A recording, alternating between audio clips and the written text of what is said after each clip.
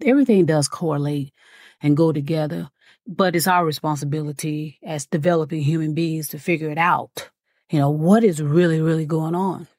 Usually, what I do in the morning, I usually just get up and just start, you know, either doing a podcast or or doing a video. Welcome to the Evolution of the Consciousness podcast. Love is spoken here with your host and guide, Michelle Carruthers. Morning, morning, everybody. Evolution of the consciousness. Love is spoken here. I'm Michelle Carruthers on this January 27th, 2024, on a Saturday. And it's starting out beautiful over here on my side of town, on the West Coast, east side of town, baby, baby. Hope everybody's doing fantastic, magnificently, and marvelous because I am. So I got up this morning, you know, got myself all fresh and clean, clean. I mean, my, you know, my apartment is, you know, it's a studio. Let's put it that way. And it's cluttered, of course. You know, why not? I got paper everywhere because, you know, you can't have beauty.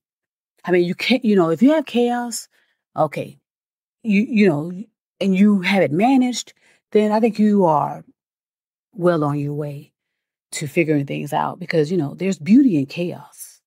Well, without chaos, there's no beauty. And without beauty, there's no chaos. So everything does correlate and go together.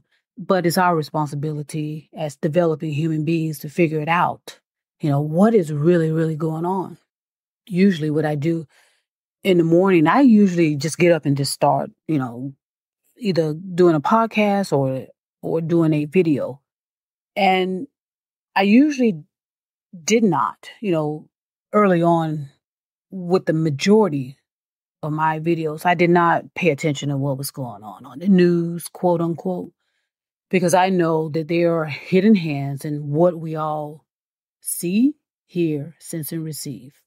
Someone's always controlling that and deciding what we're what we are supposed to listen to, what we're supposed to watch, what we're supposed to feel, and all, all everything is just involved with hidden hands attempting to control us, and they're doing a good job of it for the majority of people. Sadly, you know, a lot of it is via the technologies because you know these technologies, uh, you know, are you know they're they're they're fantastic. You know what? And what do I mean by that? Well, they can they can oh, help to open up a lot of uh, fantasies, a lot of fantasies and imaginations, but they can also open up a lot of delusion. And that's and in most cases that's the whole idea is to get you so immersed in things so that you don't take care of your house, don't take care of yourself, don't take care of each other. And more importantly, taking care of your consciousness. Okay. Evolution of the consciousness involves, is a hands on you know, all hands on deck activity, meaning you are immersed in your being, your B E I N G S, if you want, you know, being. You you you you are immersed in that. In other words, you, the human being, in the true sense, are responsible for controlling it. But you know, over the course of time, because of the the love of conveniences, we've allowed you know, technology to do it for us and and do it for us they will. You know, the damage has been done. Okay, this has been going on with the technology side of it. And I'm not just going to keep saying AI because I know a lot of people get all worked up about that. You know, AI has allowed me, you know, this they they want to justify it just like they did with the bots, just like people do with buying uh, likes, buying followers. You know, everyone has a always have a justification for doing it. I used to do that stuff back in the day too, because that that's what they told us that we needed to do to grow our business is get fake likes and get fake followers. Okay, anyone that's honest know that that is what it was, and then people start introducing bots, those BOTs, to do the same thing to get the edge on someone else. Okay, and a lot of people, you know, will you know, yes, AI is neutral. AI is abs- every all technology is neutral. Even creational energy is neutral. Okay? Energy is neutral. Atoms are neutral. But what what happens to to degrade it, to cause it to degenerate? The hidden hands. Okay?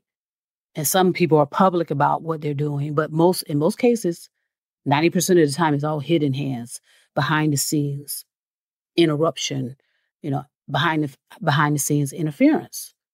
Okay. If everything were neutral, we would probably be, if we were handling everything neutrally, oh, I I, I could just I cannot imagine where we would be, All, you know, the majority of us.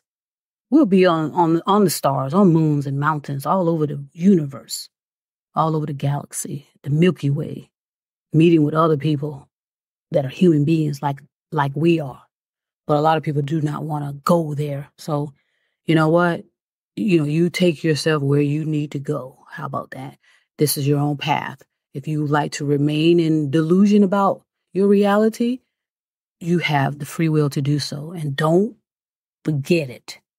Okay, even though we continue to forget day, day in and day out about things.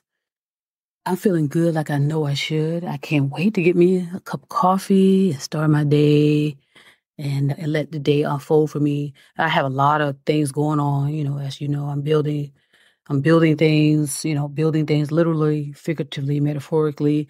And so that that's going to cause a lot of chaos. It's going to cause some setbacks. It's going to cause some delays.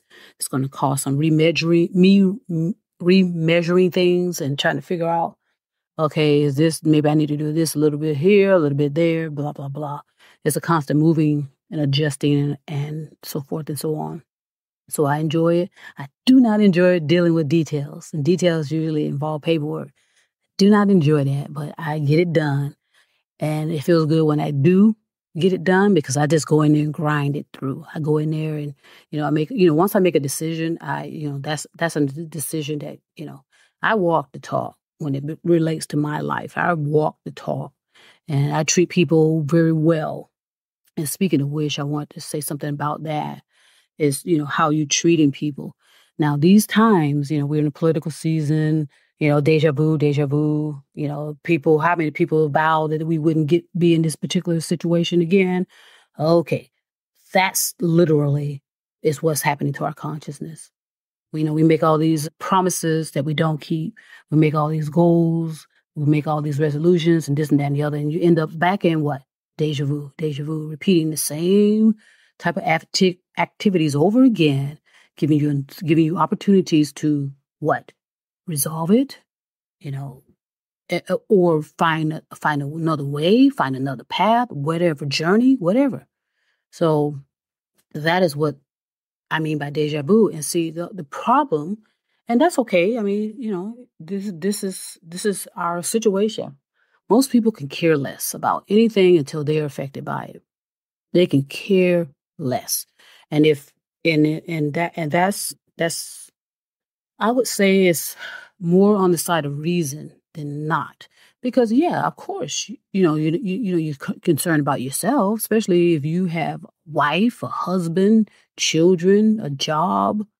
You know, you have you do need to be concerned about yourself and make sure that you can breathe rather than worrying about if anybody else is not.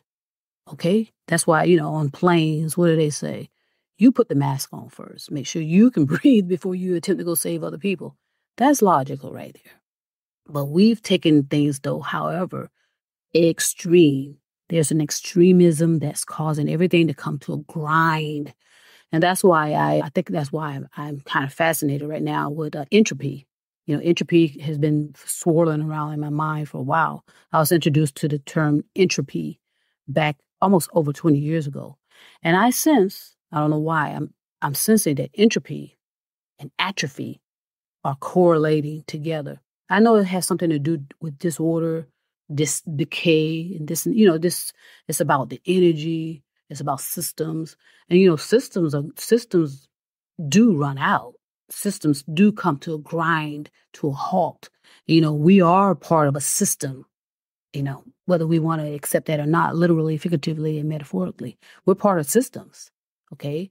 So at some point, everything breaks down, you know everything breaks down. So I'm thinking about that a lot. That's coming in my into my mind because I, I let my thoughts flow. I don't necessarily interfere. I just kind of ask myself, okay, what does all that mean? What does it mean? What does it mean? While I do my do my thing, do my chores, I still have work to do. I still have accountability, responsibility, but we've because we've neglected it and and, and kind of disregarded a lot of things. A lot of you just have so much stuff piled on you that you barely have time to to you know either to you know to do whatever you want to do. You're doing everything for other people, you know, whether it's for your job, whether it's for your wife, your husband, your children, your pets, you know, your friends, your business partners, whatever. There's a lot of a lot of moving parts, and it's gonna this is this is it. You know, you know we're in a in a in a spin of no control. We're in a spin, whether it's grinding to a halt, it's still spinning. Okay, I was looking at something on the on one of the videos the other day where it said it had a series of ants. You know, I consider ants extremely, extremely intelligent beings you know, because they know what to do. They did, you know, they seem to get to be, they seem to be getting a lot of things done. But those ants started, they were on a path to go somewhere. Who knows, right? Let's just just just use this as a uh, something to just contemplate, you know, think about.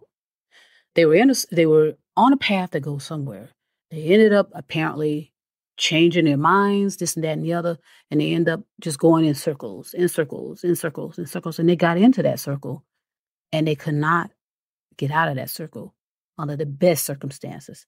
It became became hundreds of them circling, thousands of them circling, millions of them circling, and accordingly, they're going to be walking and circling like that because they something confused them, something interrupted them, something distracted them.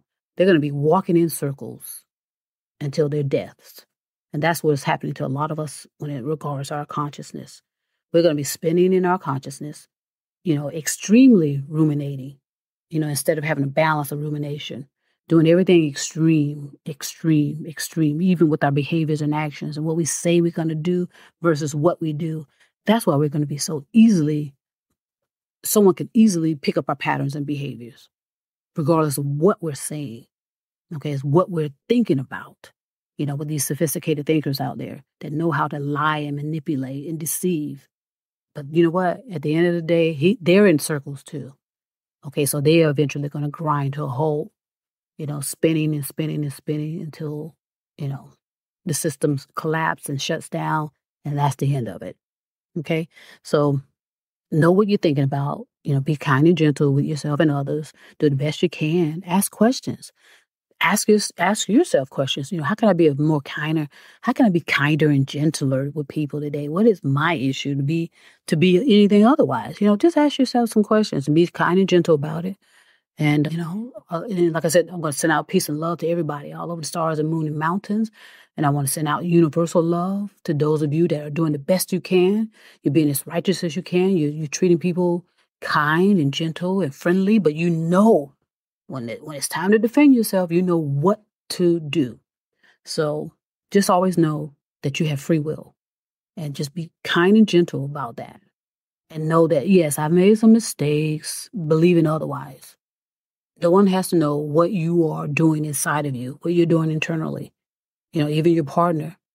But you, at some point, you want to do share it with someone intimately. Of course, you're, you know, how you're developing, how you can develop together and this and that and the other, because it is about that as well, too.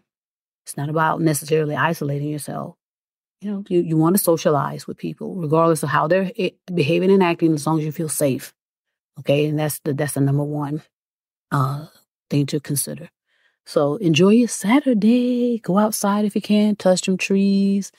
You know, breathe in. You know, not too much. You know, because our atmosphere is uh is you know, unfortunately you know, our atmosphere has some issues as well, you know, with the high seal, you know, just just a lot of things going on and we don't need to go into that this morning. Just enjoy your enjoy your life as best you can. Enjoy the moments with each other. Enjoy the moments with yourself. Okay?